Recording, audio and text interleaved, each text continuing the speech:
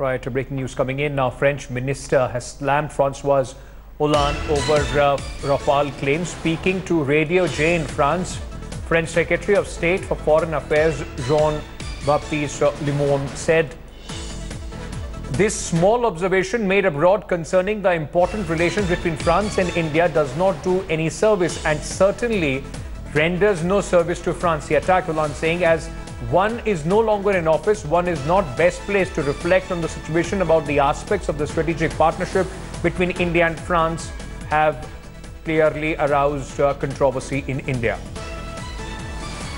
Geeta Mohan, uh, Foreign Affairs editor, now joins us for more on this story. Geeta, very interesting what the French minister has said. He has hit out at Hollande for putting this uh, strategic partnership under a cloud but he has not denied, uh, you know, the allegations or the assertions made by Francois Hollande. That is quite important. Well, that's right. No denial coming uh, is uh, coming India's way from the foreign ministry now of France. So that's an official statement that's come in, uh, Ankit. Although uh, we and, uh, we've been talking about this, you and I have had conversations about the Rafale deal and what's happening in France.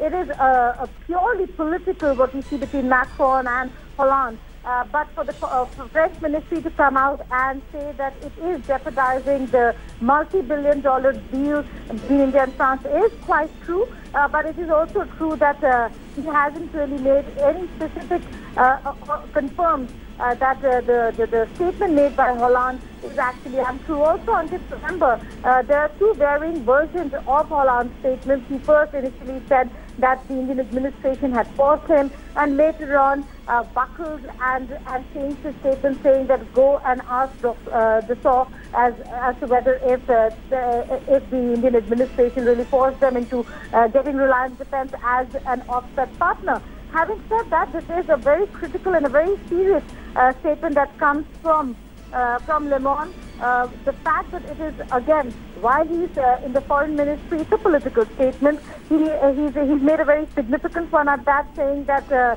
uh, that uh, India and France and the French Rafale deal, of, for which they really had to fight very hard on this. Yes. It was a very toughly fought battle uh, for to, to, get that deal through. And I'm talking about the 126 aircraft uh, original deal.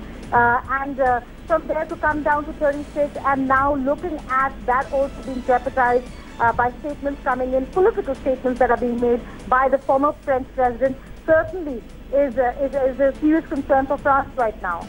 Yes, but this is Geeta an attack. This is an uh, this is a political. Okay, all right. I have to leave it there. Thanks for watching the video.